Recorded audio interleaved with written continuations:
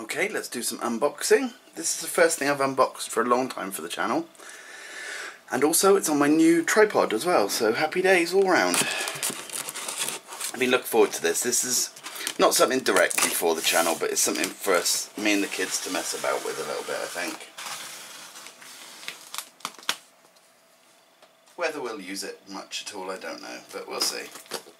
That's if it's the thing I'm thinking it is. I could be completely wrong. Yep, it's what I thought.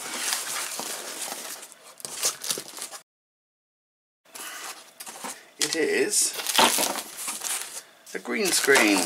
Well, it comes with green, black and white screen, actually. Right, so what do we get in the pack then? We've got the three screens, different colours, green, white and black. We have three um, clips.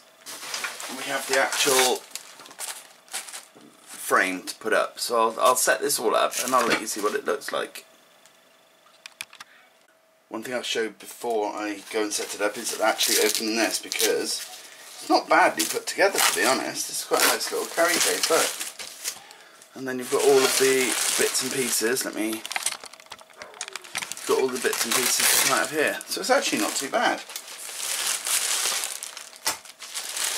Here's one side. Here's the top.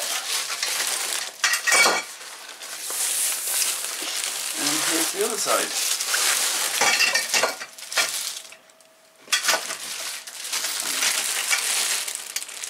Okay, so let's put this up. I'll be back in a minute. Right, this thing is massive. Um, this is um, the whole width of my arms from end to end and it's actually got another third worth of um, distance lengthways. But my room is not set up for that kind of thing but I don't know how well it'll work with all the creases in it. But what I might do is put it in the like shower room or something for a couple of days while we have showers and then see if it will allow the creases to drop out or I might look into whether you can actually iron these or not.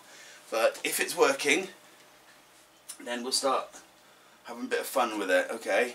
But um, I don't know I honestly don't know if it's working. Let me lift up the camera so you can actually see me head a bit.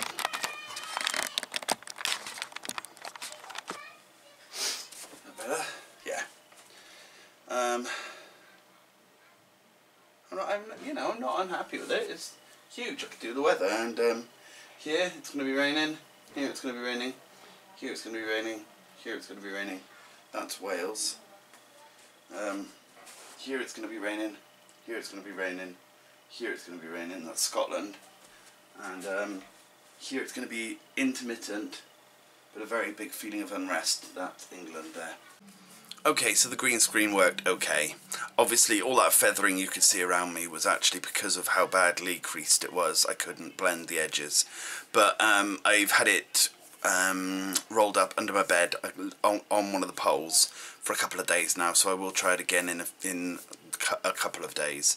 And I should hopefully get another video out about it just you know just having a bit of fun and so on.